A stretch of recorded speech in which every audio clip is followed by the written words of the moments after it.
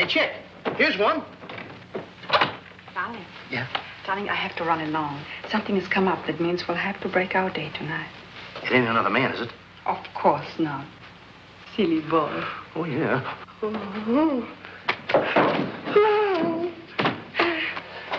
Boy, I'm floating on a cloud of love. Listen, you little blimp. I'll let the air out of you in a minute if you don't give me a hand. Understand that? Thank you. Boy, is this kid lost. Come here.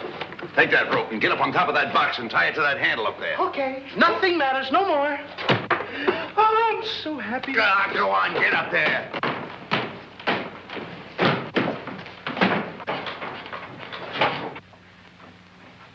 Here it is.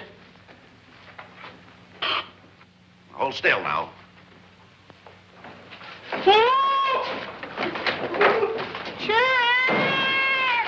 Stop him. Is he trying to ruin me? Oh, keep your shirt on. You're insured. Yes, and if those exhibits are damaged, I intend to collect.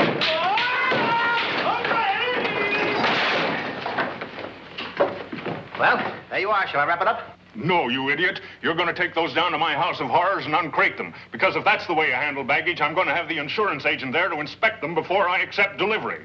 Well, then it's going to cost you overtime because I'm a union man.